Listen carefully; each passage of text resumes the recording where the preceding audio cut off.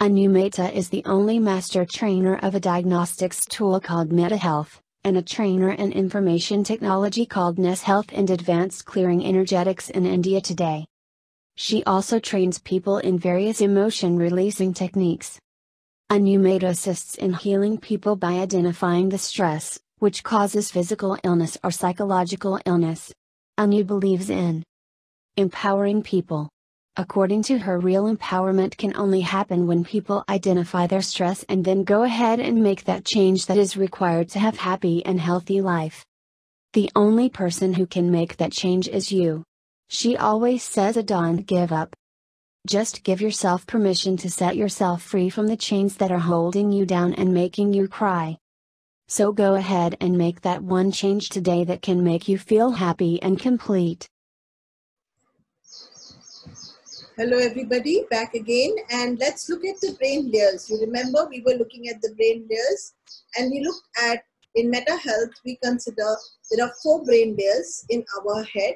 The first one was cerebellum, first one was brainstem, second is cerebellum, third is medulla and the fourth is the cortex. So let's go further and understand these brain layers in a proper way. So brainstem is responsible for many organs in the body, most of the organs which help us to survive. Now, what do you mean by most of the organs which help you to survive? Which means your basic digestion, that is how much, how will you eat food, your basic breathing, uh, to do with food,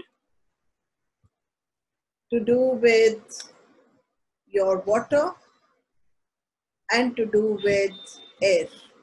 So all the organs which are responsible for holding um, water like the, the basic function of uh, regulation of water in the body, the basic function of digestion of food in the body, and basic function of taking in oxygen in the body, all the organs which are belonging to this category, which help us to survive.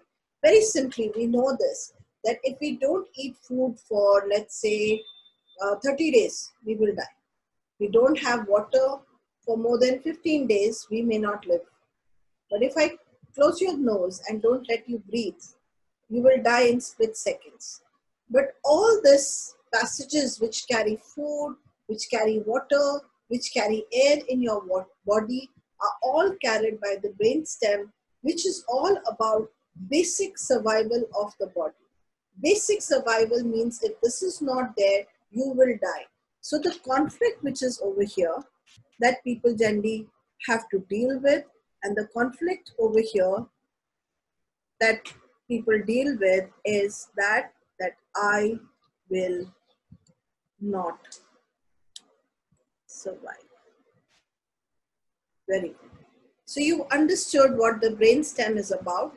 I repeat again, brainstem is about food, water, air, all these three passages, which are very, very important for your body for survival. If you don't get food, you will die. If you don't have water, you will die. If I take off oxygen from you, you will die.